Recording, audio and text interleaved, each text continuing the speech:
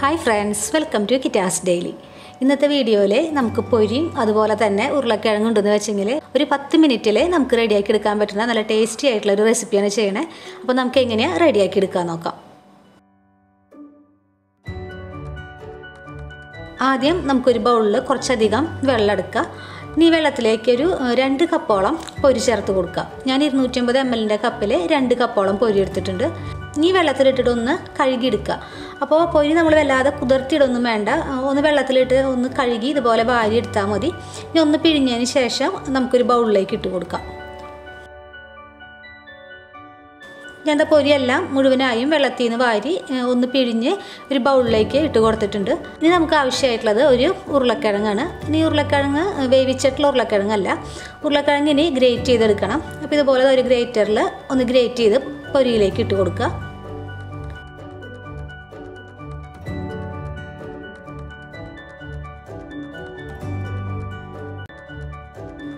ഇനി നമുക്കിതിലേക്ക് ഒരു മീഡിയം വലിപ്പത്തിലുള്ള സവാള അരിഞ്ഞത് ചേർത്ത് കൊടുക്കുക.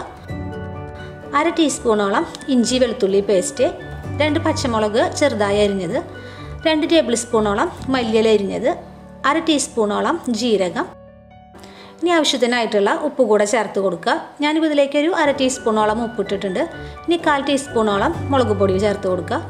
ഇനി ഒരു നാരങ്ങയുടെ പകുതി എടുത്തിട്ടുണ്ട്. അപ്പോൾ നാരങ്ങ നീര് കൂടെ ചേർത്ത് കൊടുക്കുക. ഇനി നാരങ്ങ നീരിന് പകരം തൈര് ചേർക്കണമെന്നുണ്ടെങ്കിൽ ഒരു രണ്ട് ടേബിൾ സ്പൂൺ തൈര് ചേർത്താലും മതി. ഇനി നല്ല പോലെ ഒന്ന് മിക്സ് ചെയ്തെടുക്കുക. നമുക്ക് ഈ സവാളയും അതുപോലെ പച്ചമുളകും ഒക്കെ നല്ല പോലെ ഒന്ന് മിക്സാക്കി എടുത്തതിന് ശേഷം ഇതിലേക്ക് ഒരു കാൽ കപ്പോളം മൈദ ചേർത്ത് കൊടുക്കുക. ഇനി മൈദ അല്ലാന്നുണ്ടെങ്കിൽ അതിന് പകരം അരിപ്പൊടി ആയാലും ചേർത്ത് കൊടുത്താൽ മതി. ഇനി ഒരു കാൽ കപ്പോളം കടലമാവ് കൂടെ ചേർത്ത് കൊടുക്കുക. ഇനി കാൽ ടീസ്പൂൺ ബേക്കിംഗ് സോഡ കൂടെ ചേർത്ത് നല്ല പോലെ ഒന്ന് മിക്സ് ചെയ്തെടുക്കുക. നമ്മൾ ഈ പൊടികൾ ചേർത്ത് മിക്സ് ചെയ്യുമ്പോൾ നല്ല പോലെ ഒന്ന് അമർത്തി വേണം മിക്സ് ചെയ്തെടുക്കാനായിട്ട്. നമ്മളിതിലേക്ക് കൂടുതലായിട്ട് വെള്ളമൊന്നും ചേർക്കണില്ല. അപ്പോൾ ഈ ഉരുളക്കിഴങ്ങിലുള്ള വെള്ളമൊക്കെ ഇറങ്ങി വരണം. അപ്പോൾ നല്ല പോലെ തന്നെ ഒന്ന് അമർത്തി മിക്സ് ചെയ്തെടുക്കുക.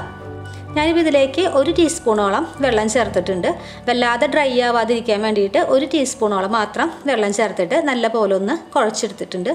ഇനി നമുക്ക് നമ്മുടെ കയ്യെ ഒന്ന് വെള്ളത്തിൽ മുക്കിയതിന് ശേഷം കുറേശ്ശെയായിട്ട് എടുത്ത് ഒന്ന് ഉരുട്ടിയെടുക്കുക. അതിനുശേഷം നമ്മൾ ഉഴുന്നുപടയ്ക്ക് ഉണ്ടാക്കുന്ന പോലെ തന്നെ ഒന്ന് പരത്തിയതിന് ശേഷം വിരൽ വെള്ളത്തിൽ ഒന്ന് മുക്കിയിട്ട് ഇതിന് നടുവിലായിട്ടൊരു തുളയിട്ട് കൊടുക്കുക. അതാ ഈ ഒരു രീതിയിലായിട്ട് കിട്ടും.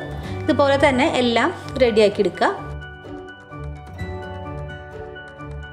ഫ്രൈ ചെയ്തെടുക്കാനായിട്ട് ഇപ്പോൾ ഓയിലൊക്കെ ചൂടായിട്ടുണ്ട്. അപ്പോൾ ഓയിൽ ചൂടായതിന് ശേഷം ഓരോന്നായി ഇട്ട് കൊടുത്ത് ഒരു മീഡിയം ഫ്ലെയിമിൽ വെച്ചിട്ട് നമുക്ക് ഫ്രൈ ചെയ്തെടുക്കാം. രണ്ട് സൈഡിന്റെയും കളറൊക്കെ മാറി നല്ലൊരു ഗോൾഡൻ കളർ ആവുമ്പോൾ നമുക്ക് എടുത്ത് മാറ്റാം.